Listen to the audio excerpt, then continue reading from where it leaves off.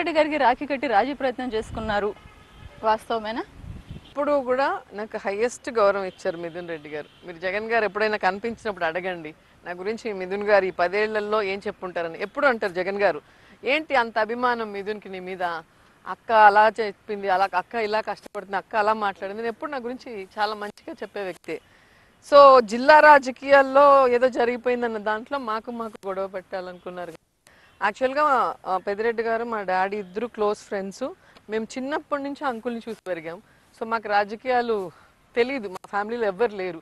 So మాకు ఆయన ఒక పొలిటికల్గా ఆయన ఒక స్ట్రాంగ్ సపోర్టర్ లాగా ఉండేవాళ్ళు ఫ్యామిలీకి.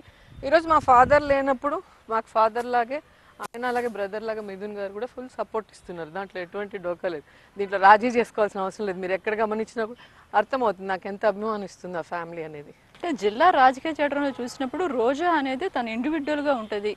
మిగతా ఎవరి దగ్గర కూడా ఒక గ్రూప్లో చేరడం కానీ లేకపోతే వాళ్ళతో సమన్వయం చేసుకోవడం కానీ చేయరు ఇండివిజువల్గా ఉంటుంది రోజా అనేది ఒక ఇది మీ మీద వినిపిస్తూ ఉంటుంది. నేను ఉన్నది జనాలకి సర్వీస్ చేయాలని అలాగే ప్రభుత్వాల్లో ఉన్న వాళ్ళు తప్పు చేస్తే దాన్ని ఎత్తి చూపించాలి. ఒక లీడర్గా నా బాధ్యత నేను ఫీల్ అయ్యాను.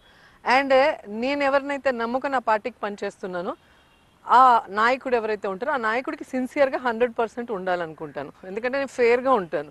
వాళ్ళకి అదే చెప్తాను. మీకు ఎవరైనా నా గురించి చెప్తే నన్ను పిలిచి అడగండి నాతో డిస్కస్ చేయండి.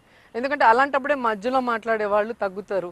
లేకపోతే గ్రూప్ రాజకీయాలు ఎక్కువైపోతాయని ఎప్పుడు కూడా నేను చెప్తాను.